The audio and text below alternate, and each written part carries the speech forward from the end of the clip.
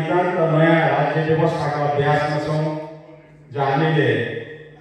लामो एउटा बलिदानीपूर्ण सङ्घर्षको बावजुद प्राप्त गरेको राजनीतिक उपलब्धि गणतन्त्र सङ्घीयताको हामी जो अभ्यास गरिरहेका छौँ हामी पूर्ववत कुनै विश्वविद्यालयमा अथवा कुनै अर्कै ठाउँमा गएर सिकेर आएर नभई हाम्रो माटो हाम्रो हावा हाम्रो पानी यहाँको जनजीवन यहाँको आवश्यकता यहाँको प्रकृति यी सबै कुराहरूलाई समेटेर हामीले नेपाली मन ने, नेपाली सँगको एउटा राज्य व्यवस्थाको अभ्यास गरिरहेका छौँ। त्यसो हुँदाखेरि हामी काम गर्ने दौरानमा धेरै कमी कमजोरीहरू पनि भइरहेका होला। कि हामी सिकेर हामी यो राज्य सञ्चालन गरिरहेका छैनौँ सिक्दै फेरि त्यसलाई परिमार्जन गर्दै संशोधन गर्दै अझ पनि कसरी हुन्छ जनअपेक्षालाई मुलुकको आवश्यकतालाई कसरी सम्बोधन गर्न सकिन्छ?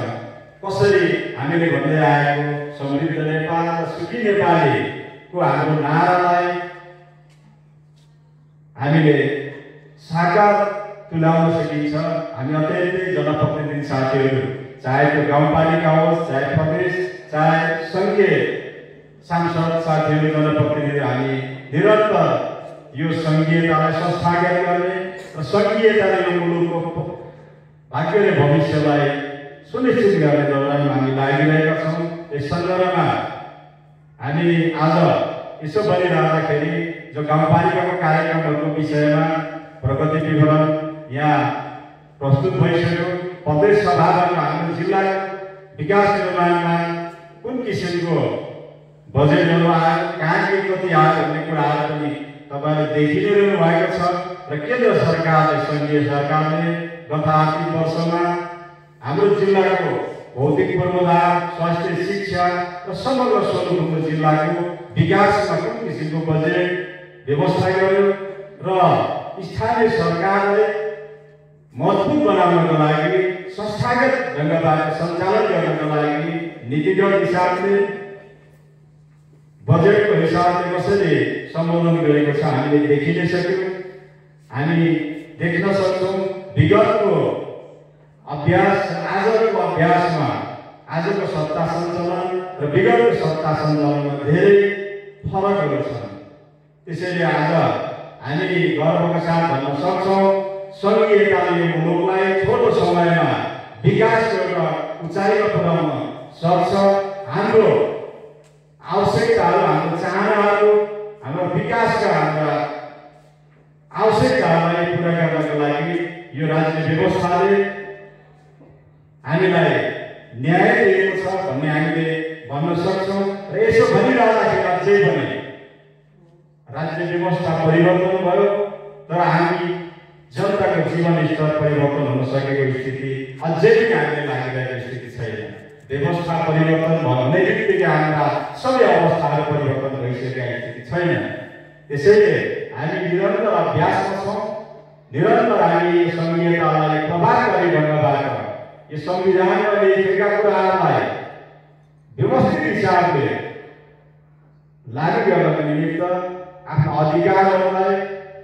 विगतमा राज्य व्यवस्थाले विगतका शासकहरूले खडा गरेका विविध किसिमका विभेदहरूलाई अन्त्य गर्दै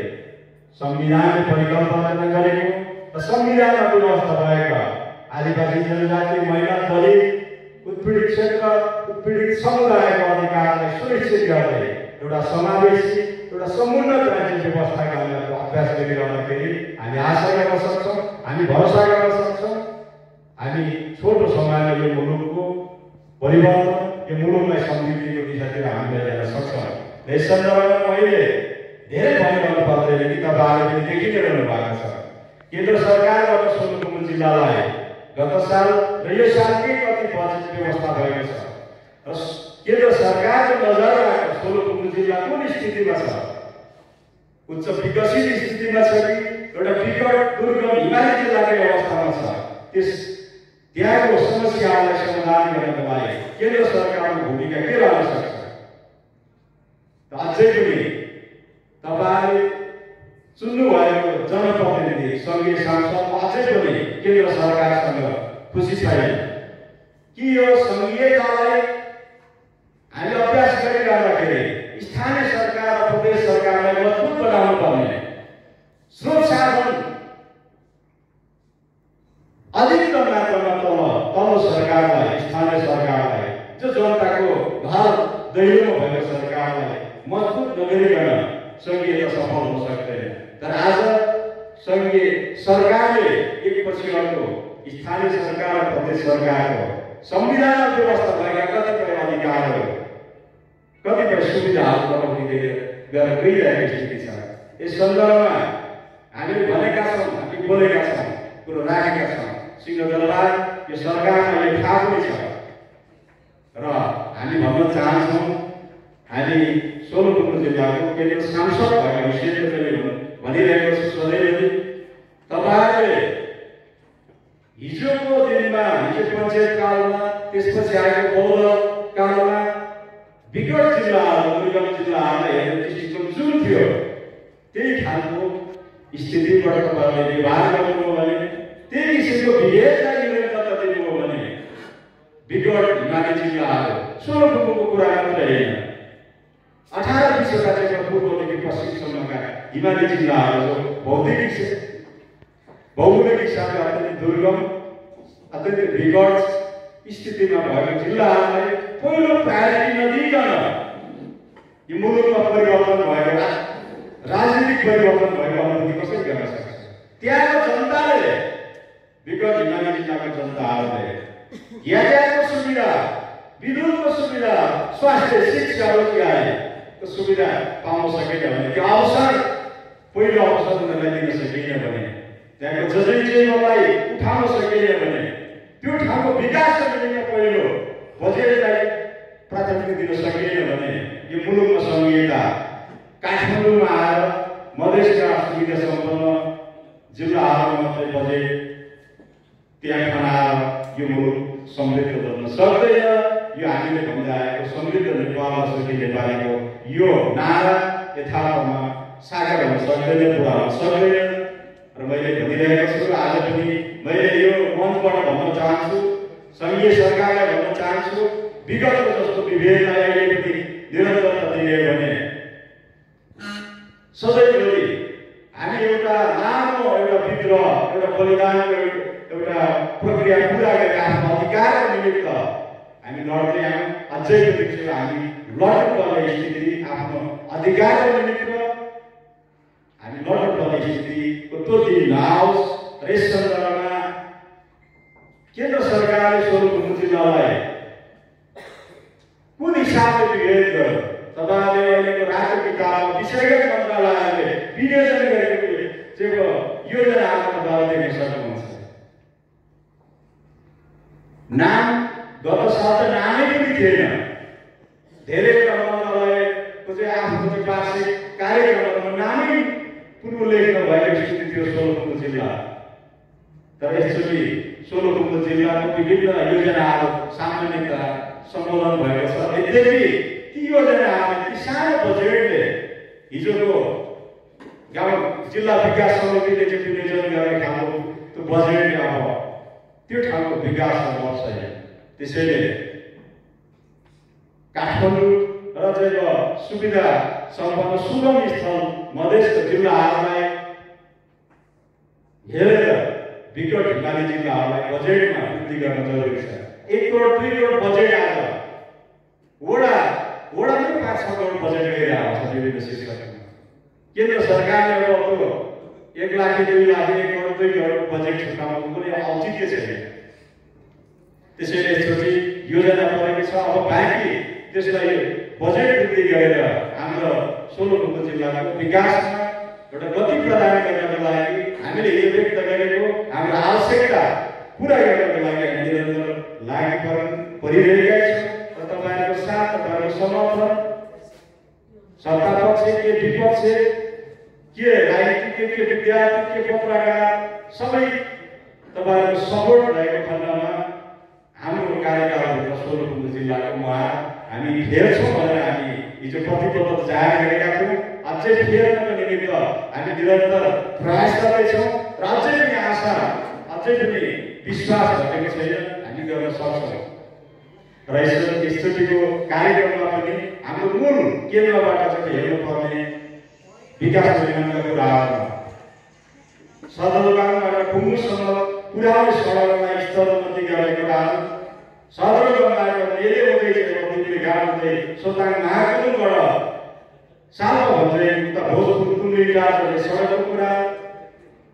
सदरमुकामबाट तामा खाने दसैँ भन्दै हुँदै यता भण्डार दोलखासम्म सडकलाई चाहिँ जोड्ने कुराहरू नेचा सोल्याउने गर्ने कुराहरू यी सडकहरूलाई विशेष प्राथमिकताका साथ केन्द्र सरकारले पनि बजेट कम राखे तापनि यी योजनाहरूलाई यी एनआरएमहरूलाई सम्बोधन गरेको छ र यसमा थोर बहुत बजेट पनि छ र यसलाई बढाउनको निमित्त तपाईँहरूको पनि सेवा सहयोग हुन्छ भन्ने विश्वास व्यक्त गर्न चाहन्छु। यसै गरी सोलुखुम्बु जिल्ला अघि नै हाम्रो मान्यज्यूले भन्नुभयो विद्युतीकरणको कुरा सोलुखुम्बु जिल्लामा आगामी एक दुई वर्षको तिन सय मेगावाट विद्युत उत्पादन हुँदैछ। तर सोलुखुम्बु जिल्लामा आजको दिनसम्म राष्ट्रिय प्रसारण लाइन पुग्न सकेको स्थिति छैन र अहिले आर्थिक चालु आर्थिक वर्षमा छपन्न करोडको चाहिँ अब टेन्डर भएको छ। यही छपन्न करोडभित्र लगभग पैँतिस चालिस हजार विद्युतीय पोल गाडिँदैछ तार र तिनवटा स्थानीय लगभग आगामी आउँदो वर्ष यो जेठ असारसम्म लगभग तिनवटा गाउँपालिकामा विद्युत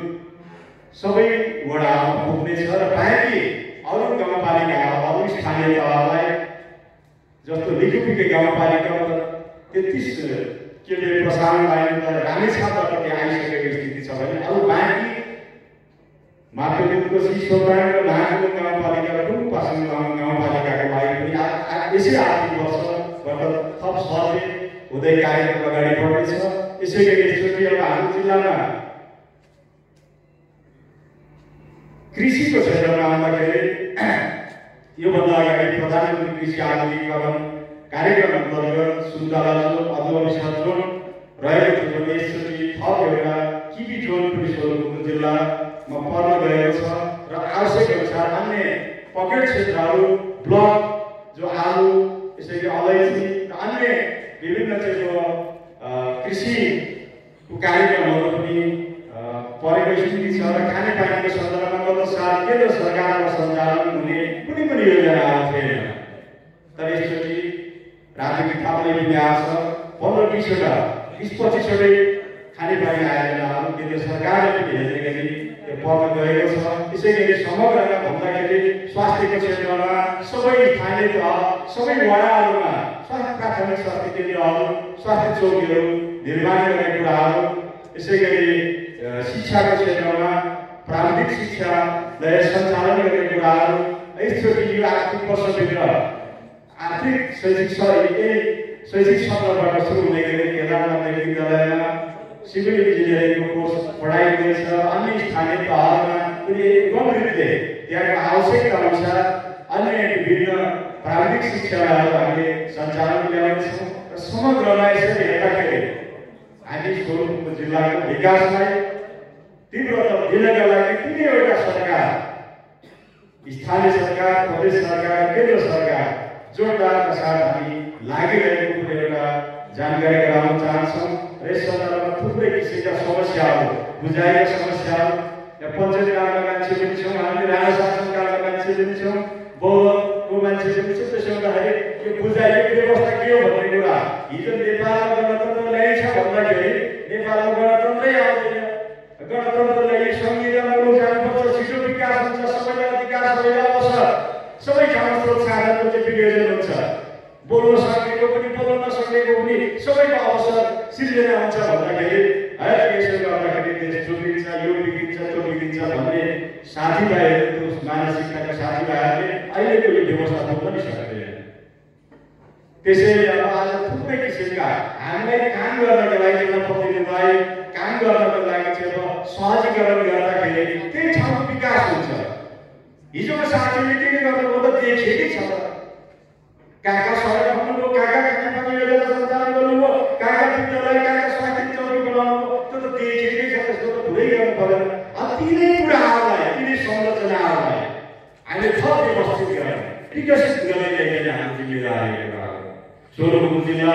तपाईँहरूलाई थाहा छ भौतिक पूर्वाधारको क्षेत्रमा फेरि एकैचोटि मैले फर्केँ हाम्रो जिल्लामा कति किलोमिटर कालोपत्र गएको छ हाम्रो जिल्लाको सबै भूगोल कति सय किलोमिटर छ के वर्ग मिटर छ र हाम्रो जिल्लामा जम्मा पन्ध्र सोह्र किलोमिटर कालोपत्र त्यसमाथि हामीले अत्यन्तै जोडदार साथ स्थानीय तहका साथीहरू प्रदेश सभाका साथीहरू हामी सबै मिलेर धेरैसम्म व्याख्या गरेको त्यसमा किलोमिटर चाहिँ पहिल्यै भइसकेको कुरा। सबै कुरा पहिल्यै भइसकेको हामीले त त्यसलाई अलिक विकसित गर्न मात्रै हो। यो मुलुक हामीले बनाएको यो मुलुक पहिल्यै थियो। त्यसो हुँदाखेरि त्यस्ता किसिमका केही साथीहरू हामीले गर्दै गरेका कामहरूलाई जस अजसको कुराहरू तपाईँहरूले अहिले समीक्षा अहिले निर्कल गर्ने अहिले नै त्यो निष्कर्ष निकाल्ने सक्ने स्थिति त्यो बेला भइसकेको स्थिति म ठान्दिनँ किनकि हामीले आर्थिक वर्ष भर्खर कम्प्लिट लागिरहेको छ। अर्को आर्थिक वर्ष सुरु हुँदैछ। अब तिनवटा आर्थिक वर्षहरू हामीले अझै हेर्नु छ हामीले प्रयास गर्नु छ यो सङ्घीयताको कुरा यो सजिलै यो बुझ्ने कुराहरू होइन। अहिले स्थानीय तहका साथीहरूले भन्नुहुन्छ हामी सिक्दैछौँ गर्दैछौँ सिक्दैछौँ गर्दैछौँ हामी आफै नियम बनाउने आफै ऐन बनाउने कानुन बनाउने त्यसको परिपालना गर्दै हामी अगाडि बढिरहेका छौँ। त्यसो हुँदाखेरि हामी कागजी काम सँगसँगै फिल्डमा काम पनि हामी गरिरहेका छौँ। यस सन्दर्भमा अब यो धेरै काम भइसकेपछि पनि धेरै टाढा हुन्छ। यो एउटा मानवीय स्वभाव पनि हो। त्यसो हुँदाखेरि जहाँ काम माग्न पनि धेरै चलिरहेको छ साथीहरू अब लुकी लुकी नानी लुकेर विभिन्न चाहिँ अड्डातिर चाहिँ मुद्दा पनि हालिरहनु भएको छ। त्यो कुराले फेरि पछि साथीहरूले स्थानीय तहका सबै साथीहरूले मैले भनिरहेको छु मुद्दा धेरै पर्नुपर्छ हामीलाई। त्यसले हामी धेरै सिकाउँछ। सत्य भन्ने हामी के गर्दैछौँ भन्ने कुरो हामी आफै सचेत छौँ। सचेत ढङ्गबाट हामी अगाडि बढिरहेका छौँ हामी अचेत ढङ्गबाट अन्जानमा हामी चाहिँ चलिरहेको छैन हामीले सुझबुझपूर्ण ढङ्गबाट हामी अगाडि बढिरहेका छौँ। हिजो हामी यो परिवर्तनको लागि हिजो सङ्घीयताको लागि गणतन्त्रको लागि हामी लडिरहँदाखेरि जीवन मरणको सङ्घर्ष गर्दाखेरि दुश्मनको अखडामाथि धावहरू गइरहँदाखेरि हामी आफै बेलचा बोकेर जान्थ्यौँ। हामी आफै स्टेजर बोकेर जान्थ्यौँ। आफै ढल बोकेर जान्थ्यौँ। कि हामी कुनै अन्जानमा कसैको लहर कसैको लैलै हामी थिएनौँ कि हामी सचेत ढङ्गबाट बलिदान गर्न गइरहेको थियौँ। हालै संसार के अरे हालै मृत्यु जित्यो संसार हाले के जान्छ हाम्रो के जान्छ एउटा मृत्यु हो त जित्यो भने सबै संसार त आज जितिएको स्थिति सबै संसार छ त्यसो हुँदाखेरि यो सबै ठाउँमा जितेको कारणले गर्दाखेरि अब डाहा भइरहेको छ सबैतिरबाट हुने कुरामा पनि नहुने कुरामा पनि गरेको कुरामा पनि नगरेको कुरामा पनि दुनियाँ किसिमको मुद्दाहरू खेलिरहेको यो हामीलाई यो चाहिँ एउटा प्र्याक्टिस हो। यहीबाट सिक्दै जानेछौँ र स्थानीय तहका साथीहरूलाई पनि मैले हरेक मञ्चबाट भनिरहेको छु जहिले पनि तपाईँहरू दीर्घका साथ अगाडि त मैले के भनिरहेको छु भने सबै साथीहरूको भूमिका सबै साथीहरूको योगदान रहनु जरुरी छ। राष्ट्र कर्मचारी साथीहरू पनि यो सङ्घीयतालाई चाहिँ संस्थागत गर्ने कुराहरू यो सङ्घीयतालाई सफल बनाउनको लागि तपाईँहरूको आफ्नो खालि नीति चाहिँ विषयमा मात्रै तपाईँहरू अल्झिँदैन आफ्नो पेसागत विषयलाई मात्रै आफ्नो वृद्धि विकासलाई मात्रै आफ्नो सेवा सुविधालाई मात्रै तपाईँहरूले ठुलो बनाउने होइन तपाईँ राष्ट्र सेवा कर्मचारी हो भने तपाईँहरू यो देशको सेवा यो मुलुकको विकास समृद्धिको लागि तपाईँहरूको अहम भूमिका छ त्यसो भने तपाईँहरू पनि जनप्रतिनिधि साथीहरूलाई किन तपाईँहरू गरेर आउनु भएको छ नियम विधियम धेरै तपाईँहरू जान्नुहुन्छ जनप्रतिनिधि साथीहरू चाहिँ कुनै पनि चाहिँ विश्वविद्यालयमा गएर नियम कानुन पढेको नभए समाजलाई राम्रोसँग अध्ययन गरेका छ यो समाजमा के समस्या छ के गर्नु पर्ने भन्ने कुरा हामीले बुझिरहेको छ। त्यसो हुँदाखेरि तपाईँहरूको त्यो प्राकृतिक एउटा दक्षता र हाम्रो राजनीतिक त्यो चाहिँ एउटा सुदबुझ एउटा चाहिँ पूर्ण एउटा विचारको फ्युजन हुन सक्यो भने त्यसको तालमेल हुन सक्यो भने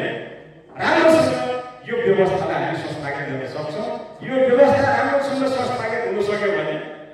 यो मुलुक छोटो समयमा कहाँलाई कहाँ पुग्छ तपाईँ हेर्नुहोस् वैश्विक त्रिसठी त्यसभन्दा यताको यो दस बाह्र वर्षको बिचको विकास यो मुलुकमा आएको यो परिवर्तन यो विकासको गतिलाई अझ पनि भन्नुहोस् अब यो छोट स्थानीय सरकार बनिसकेपछिको विकासलाई हेर्नुहोस् सङ्घीयतालाई संविधान बनाएर सङ्घीय व्यवस्थालाई कामै गरेको यो तिन वर्ष डेढ दुई वर्षको चाहिँ अवधिले हेर्नुहोस् कति विकास भएको छ यदि यो मुलुकमा यो खालको व्यवस्था आजभन्दा दुई चार वर्ष अगाडि नै भइसकेको भएको स्थिति हो भने हामी आज कहाँबाट कहाँ पुग्थ्यौँ हुँदाखेरि मैले सबै साथीहरूलाई राजनीतिक दलका साथीहरूलाई पनि भन्ने गरिरहेको छु तपाईँले आज सकारात्मक भूमिका खेल्नुभयो भने सबैको एउटा सृजनात्मक र सकारात्मक भूमिका रहन सक्यो भने विकास छिटो हुन्छ। होइन तपाईँ यो राजनीति भन्ने कुरो अब एउटैको मात्रै सधैँभरि पालो आउँदैन। पृथ्वी गोलो छ सबैको पालो आउँछ। तपाईँ पनि भोलि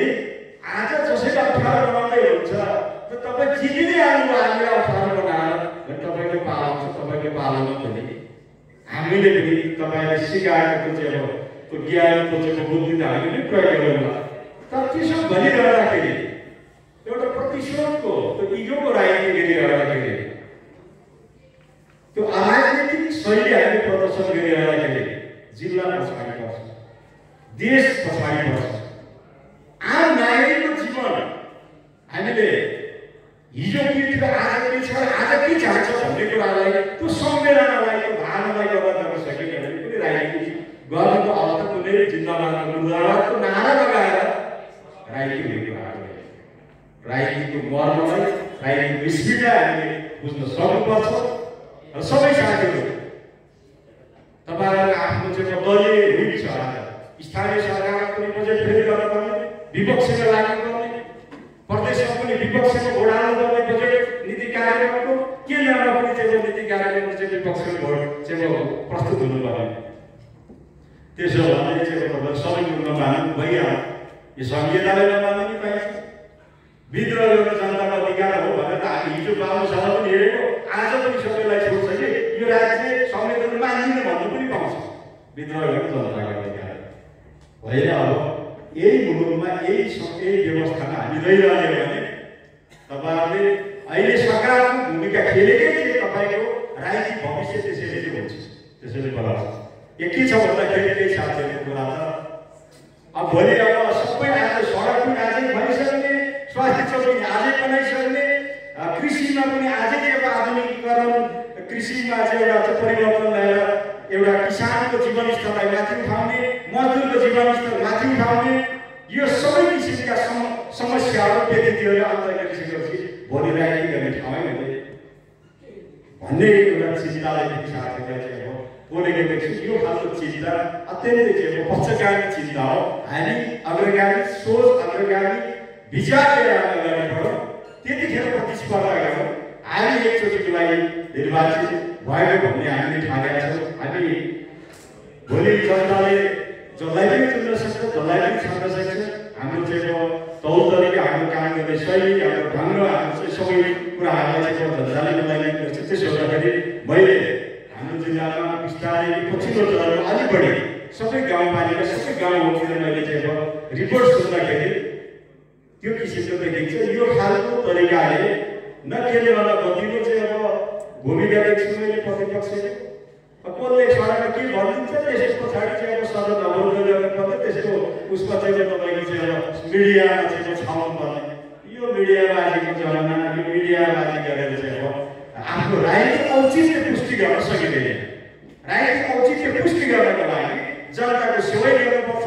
राष्ट्रिय एजेन्डालाई समर्थन गर्नुपर्छ चाहे त्यो सरकार पक्षले गर्छ चाहे अल्ल अल्ल भनिकन अगाडि बढ्दाखेरि सबैको भलो हुन्छ भन्ने लाग्छ र मैले धेरै कुराहरू यहाँ गर्नुभन्दा पनि मूल कुराहरू आजको कार्यक्रम जुन उद्देश्य जुन कार्यक्रम उद्देश्यका साथ यहाँ आयोजना गरियो विशेष गरी यसमा अब यहाँ हामी विभिन्न पेसा व्यवसाय अध्ययनको सिलसिलामा चाहिँ काठमाडौँमा बसेको छौँ धेरै अब साथीहरूलाई अब एउटा सुविधा पनि दिनुभयो गाउँपालिकाले। खालको कार्यक्रम गाउँपालिकामा भएको भए तपाईँ हामी धेरै अब यो कार्यक्रमबाट छुट्थ्यौँ अरूले सुनाउने कुरा अरू माध्यमबाट चाहिँ हामीले जान्ने कुरा एउटा हुन्थ्यो होला प्रत्यक्ष सहभागी मिलाइदिनु भयो र सबै साथीहरूले पनि फेरि आफ्नो व्यस्तताको बावजुद पनि आफ्नो पेसा व्यवसाय आफ्नो ज्ञानलाई पनि थाँती राखेर जसरी अब राजनीतिक साथीहरू सबै पनि चाहिँ आएर चाहिँ एउटा यो कार्यक्रम सफल बनाउनको लागि एउटा भूमिका निर्वाह गर्नुभएको छ मेरो तर्फबाट पनि फेरि पनि हार्दिक धन्यवाद बधाई